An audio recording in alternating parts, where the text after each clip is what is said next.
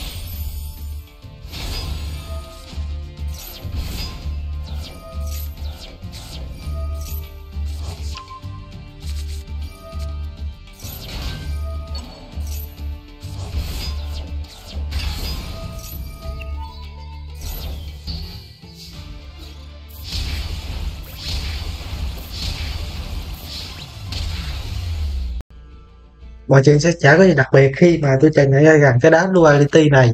Nó giúp cho chúng ta hồi sinh được những cái đét nó chỉ góp một, một phần thôi nhưng mà nó sẽ giúp cho tôi có nhiều content hơn. Yes chính vì thế mà tôi sẽ gòn và gòn thì tại sao chúng ta không bay video đúng không? Người ta đang có 7 k gem này. Thật ra là à có golden gu nữa nè. Golden gu nó có một cái lá là op thôi. Tôi chơi bên Edo Pro nó cũng xịn á. Còn cái ăn khứa này hình như nó là cái hàng mà đang là đưa Black Dota Soldier lên top meta của Dylan. Tại vì bên đó boost skill thôi chứ không phải là do cái con này nó quá mạnh đâu. Boost skill hết đấy. Rồi con này. Vãi Đi lại cũng cao bây giờ Duality.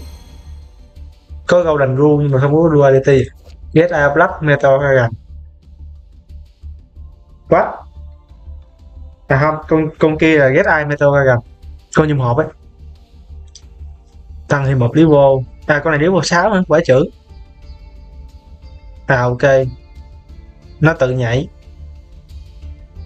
Search Get Eye sao? Con này flop đến mức mà tôi còn chả biết tới nó cơ. Cũng được Nhiều UG cũng được, không sao. Có thêm content mới. Rồi xong luôn. Duality. Ngon một duality. Quá xịn. Create ISO này nói chung là cứ ba luality mà quả thôi nè. Đủ ba luality là dừng revolution hình như con này chỉ cần x1 thôi. Mấy cái này bị tắt hết này. Do đằng ru thì cũng x3 nhưng mà Little bit nói chung là do đây tôi lười chơi lắm. Thêm một luality nữa, ngon.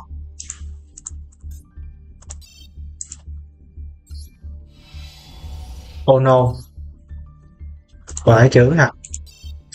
Cày thế nhờ. Con năm biết mình biết mình đang tìm gì ấy. Nó cho duality ngay cuối bóc. Á, ba duality này. Hình như video này hay ngắn phải thì tôi sẽ kẹp cái video này vào cái video mà tôi sẽ dùng cái duality này. Và các ông cũng sẽ biết rằng đó là deck gì.